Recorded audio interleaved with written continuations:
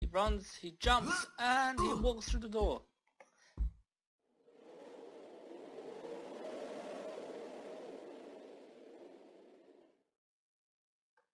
Hello and welcome, it's on World 10. Today I come to you with another tutorial for Harry Potter and the Prisoner of Azkaban. And as you can see we've got two rooms here, small room, big room. We've got a little doorway in the middle. And what we're going to do today is we are going to add a wall that moves as we come closer. So we're going to come towards here, the wall's going to move aside and we're going to walk right through. Sounds pretty cool? Let's get started then.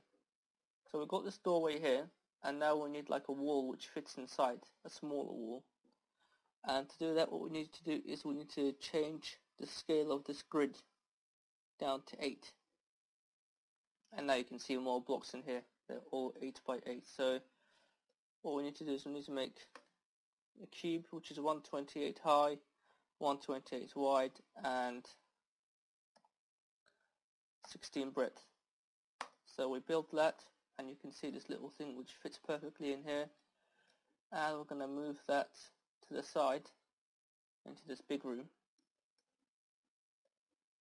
And then we're going to add a nice little texture.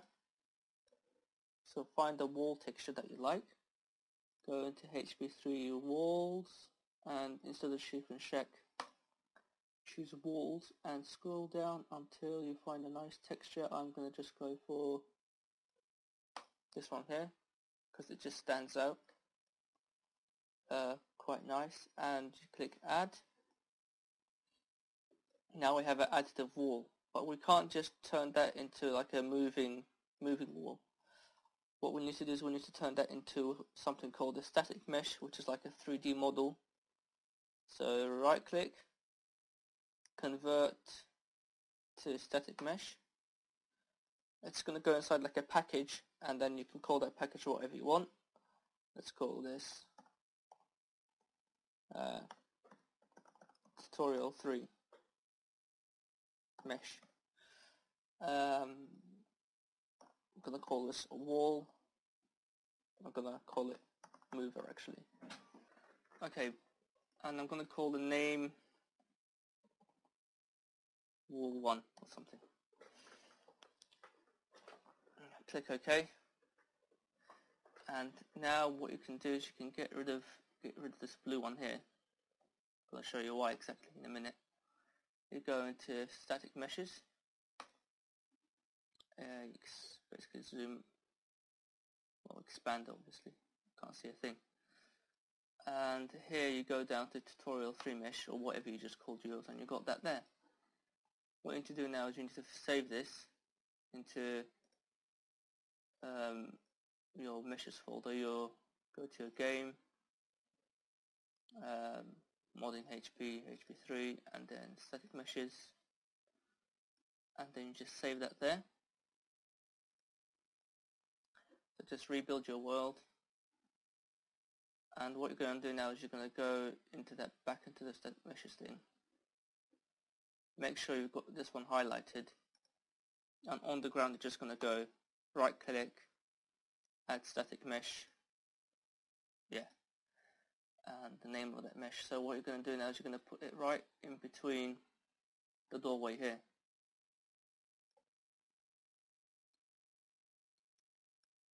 It's right in the middle.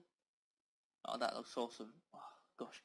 Alright, now what we need to do is we need to make this move, so we need to turn this into a mover. So keep this highlighted and down here go to this thing here called add mover uh, you click it once and there's your there's your mover uh, get rid of this static mesh here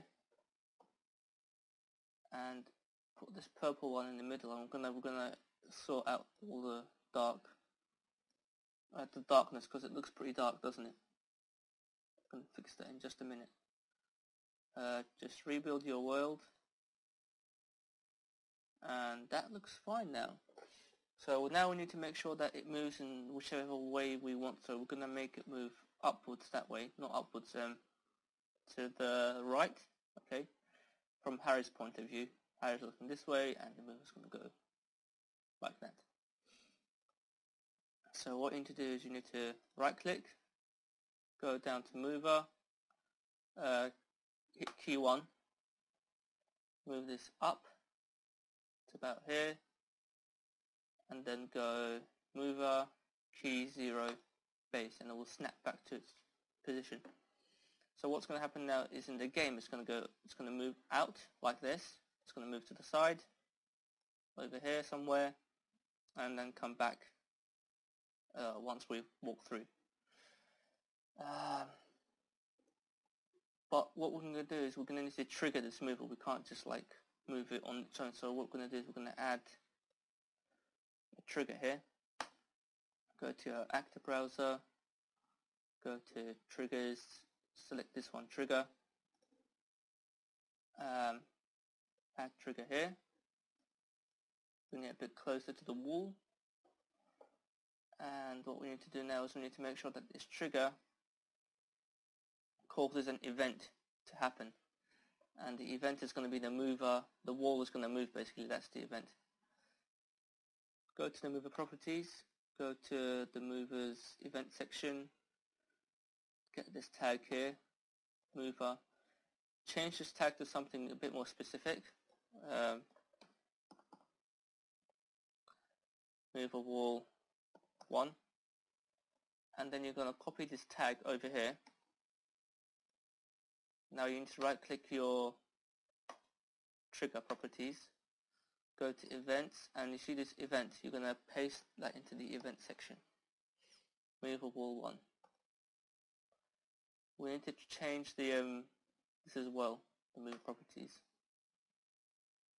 go to object initial state you change that to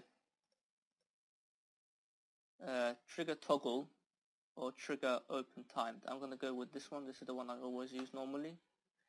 I'm not sure it matters much. It's just personal preference.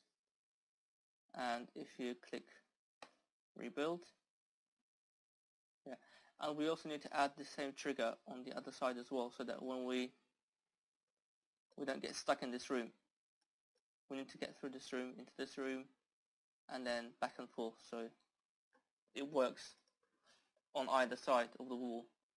So rebuild all of it, let's save this and let's see if it's gonna if it's gonna work. I'll see in a bit.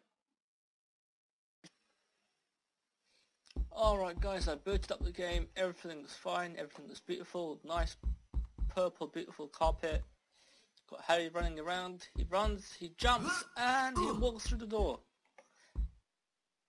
As you can see, um, the door moves, so I can go from this side as well.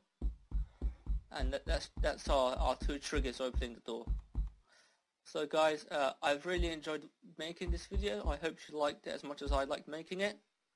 If you like this video, if you want to see more, please subscribe, give us a like, and if you've got any really cool ideas for new videos please put them in the description.